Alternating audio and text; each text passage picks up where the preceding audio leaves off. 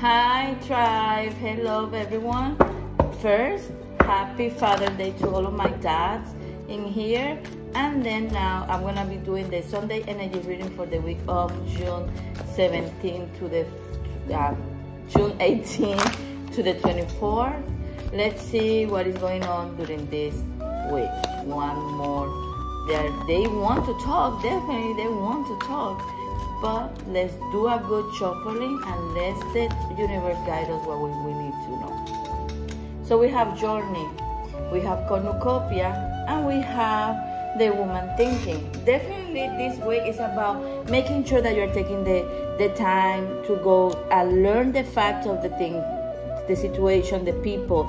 Don't make decisions without making sure that you have all of the facts, that you study the situation, you study your circumstances, and you are sure that whatever step you're going to be taking to your new journey is for the right or correct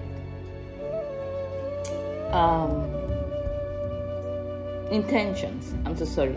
So definitely we have number two twice. So they're wanting us to make sure um, that we are guided, guided this is a moment for a journey. This is a time for you to start looking, make the decisions of the journey that you want to continue. What is the journey? Don't let this month to end without you making sure that you are moving forward to your journey to create the cornucopia.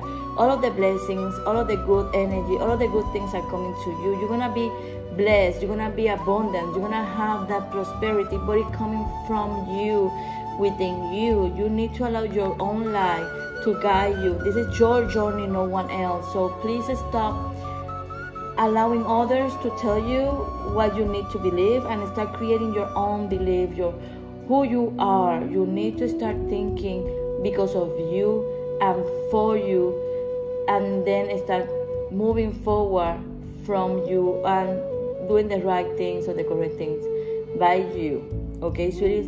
But definitely it's about finally reaching our cornucopia and creating that stability, that prosperity uh, that you are looking for. How we're going to be doing that? What is the advice? What they want us to focus? Definitely. Okay.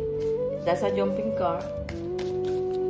That don't happen very often to me, but that's how they want it. So they. Uh, you need to allow yourself time to value yourself and definitely take time to recharge. You need to trust the process. It's not about you trying to control everything. Make sure that you have all of the facts, that you study the situation, and you're not acting blinding, blind, blind, uh, because you are being guided. You're being guided right now. Okay, so trust the process and allow yourself to shine. See you next week.